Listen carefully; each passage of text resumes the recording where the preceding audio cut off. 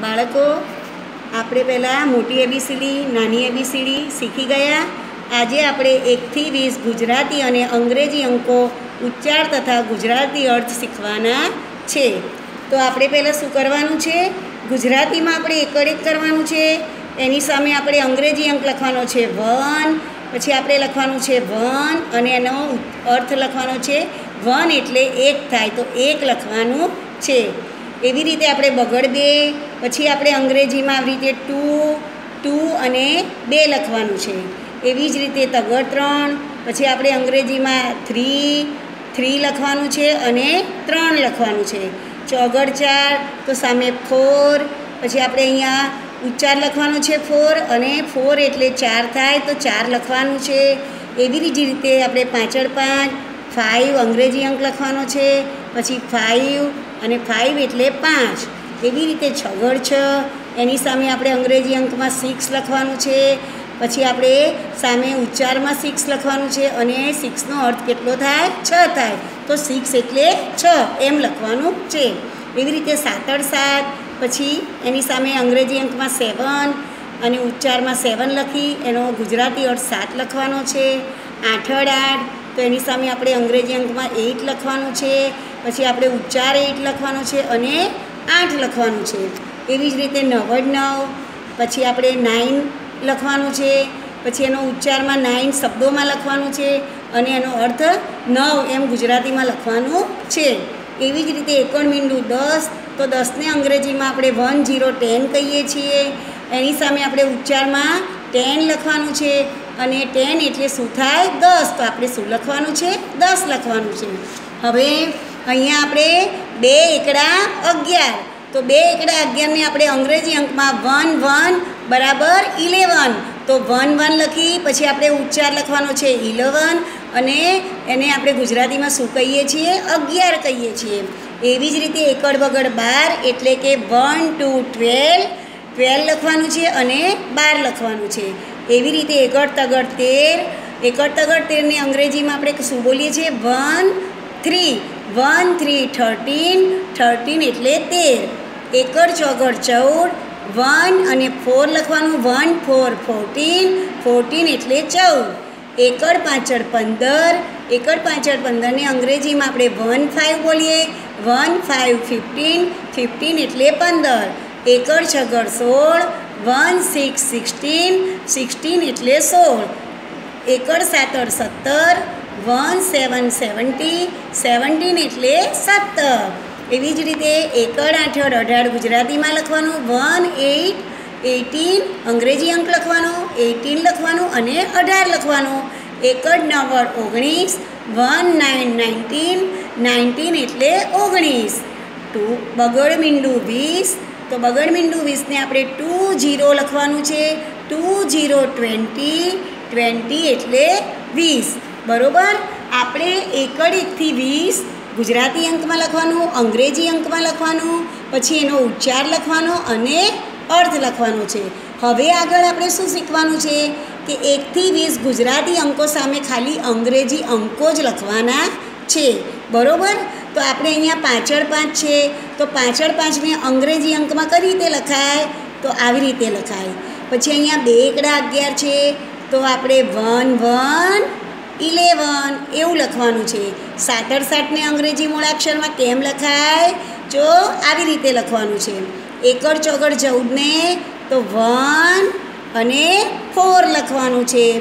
હવે એકડ, નવડ, ઓગણીસને અંગ્રેજીમાં શું લખવાનું છે? વન અને નાઇન લખવાનું છે. છગડ છને આપણે શું લખવાનું છે અંગ્રેજી અંકમાં? સિક્સ લખવાનું છે. બાળકો, જોજો હું કઈ રીતે અંગ્રેજી અંક લખું છું? તમારે એવી રીતે જ લખવાનું છે. અહીંયા એકડ એક છે, તો તમારે સામે આવી રીતે વન કરવાનો છે અંગ્રેજીમાં. એકડ, છગડ સોળ છે, તો વન સિક્સ લખવાનું છે. અહીંયા બગડ બે છે, તો આપણે અંગ્રેજીમાં ટુ લખવાનું છે. એકડ, સાતડ સત્તર છે તો અંગ્રેજીમાં વન સેવન સેવન્ટી લખવાનું છે આઠડ આઠ છે, તો અંગ્રેજીમાં એટ લખવાનું છે એકડ બગડ બાર છે, તો વન અને ટુ બરાબર ટ્વેલ્વ લખવાનું છે. નવડ નવને આપણે નાઇન એકડ તગડ તેરનેમાં વન અને થ્રી. પછી તગડ ત્રણને આપણે થ્રી લખવાનો છે અંગ્રેજીમાં. અઢારને આપણે વન અને એઇટ લખવાનું છે, એટલે એઇટીન થાય. આ અંગ્રેજી મૂળાક્ષર ગુજરાતીની સામે લખવાના છે. એકડ પાછળ પંદરને આપણે વન ફાઇવ ફિફ્ટીન લખવાનું છે. ચોગડ ચારને આપણે ફોર લખવાનો છે. બગડ મીઠું જીરું છે. તો આપણે ટુ લખવાનું અને બાજુમાં જીરો લખવાનો. એટલે કે ટ્વેન્ટી. આ ગુજરાતી અંક છે ને આ અંગ્રેજી અંક છે. એવી જ રીતે આપણે એકડ, મીંડું દસ છે. તો વન અને જીરો. તો વન જીરોને શું કહેવાય બાળકો? ટેન કહેવાય. ટેન એટલે દસ થાય. તો આપણે અહીંયા શું શીખ્યા? ગુજરાતી અંક સામે અંગ્રેજી મૂળાક્ષર લખવાના છે. બરોબર? હવે આપણે શું કરવાનું છે? એકથી વીસ અંગ્રેજી અંકો સામે ગુજરાતી અંકો લખવાના છે. અહીં ગુજરાતી અંક સામે અંગ્રેજી અંક લખ્યા. અહીં અંગ્રેજી અંક સામે ગુજરાતી અંક લખવાના છે. તો ટુ જીરો ટ્વેન્ટીની સામે આપણે ટ્વેન્ટી એટલે વીસ. તો બગડ મીંડું વીસ. અહીંયા ફાઇવ અંગ્રેજીમાં છે આપણે ગુજરાતીમાં લખવાનું છે. અહીંયા વન અને જીરો છે, તો આપણે વન જીરો બરાબર ટેન ટેન એટલે દસ, તો આપણે એકડ, એક અને મીંડું કરવાનું છે. અહીં વન અંગ્રેજીમાં તો આપણે હવે ગુજરાતીમાં લખવાનું છે. વન ફાઇવ તો આપણે એકડ પાછળ લખવાનું છે. વન ફોર તો એકડ, ચોગડ. નાઇનને નાઇન છે તો આપણે નવડ નવ. ફોરને આપણે ગુજરાતીમાં ચોગડ ચાર લખવાનો. વન નાઇનને આપણે એકડ એક અને નવડ નવ લખવાનો. વન એટને આપણે એકડ એટને આઠડ આઠ ગુજરાતીમાં લખવાનો.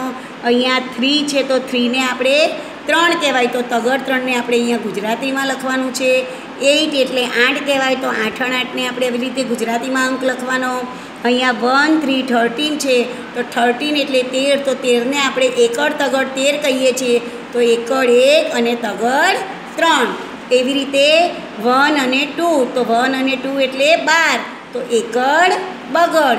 સેવનને આપણે સાત કહીએ તો સાતડ સાત, ટુને આપણે બે કહીએ તો બગડ બે, વન સેવનને આપણે સેવન્ટી કહીએ છીએ. માટે આપણે વન સેવનને આપણે શું લખવાનું? વન એટલે એકડ એક ને સેવન એટલે સાતડ સાત, તો એકડ સાતડ સત્તર હવે વન સિક્સ છે, તો વન સિક્સને આપણે શું કહીએ? સિક્સટીન. સિક્સટીન એટલે સોળ થાય, તો સોળને ગુજરાતીમાં કેવી રીતે લખાય?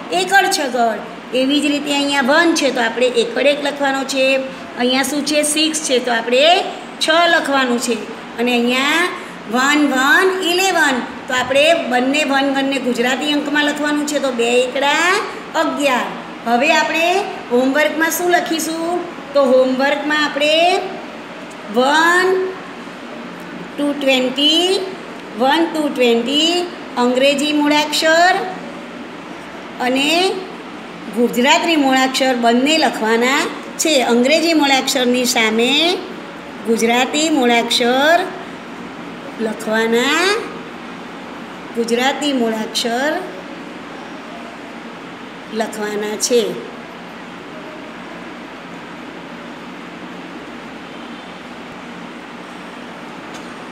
સરસ.